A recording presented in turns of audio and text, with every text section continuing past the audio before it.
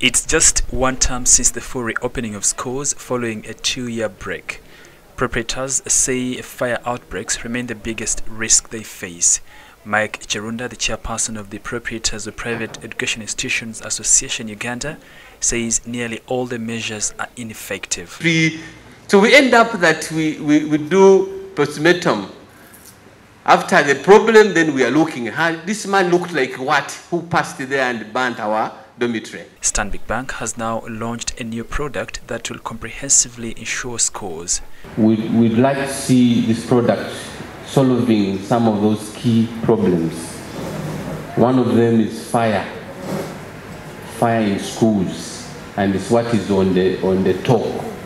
Just this time we've got over over 15 schools across the country got funds. Chironda says his association is to rally private schools to take up the product. However, one of the biggest turnoffs for insurance products has always been the cost. We asked if the product speaks to this. 30,000. But we've seen from the example we had, it was actually 7,000 shillings a year. 8,000, okay, 8,000 shillings a year. So it is affordable. Depends on the number of students in the school. In fact, don't even tell the parents.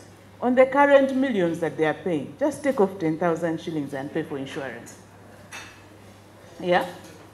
Because the problem is you might charge the parents, and then when it comes to paying the premium to the bank, then the food and other things come about and then you end up not paying the premium. The government says it's drafting regulations to take care of emerging risks like fire outbreaks in private schools. And uh, I know from where I sit, some schools have been taken to court to compensate. Uh, how I wish that we had embraced this some two, so 10 years back, wouldn't be facing this kind of this kind of challenge. Story by Ben Ojambo for the news.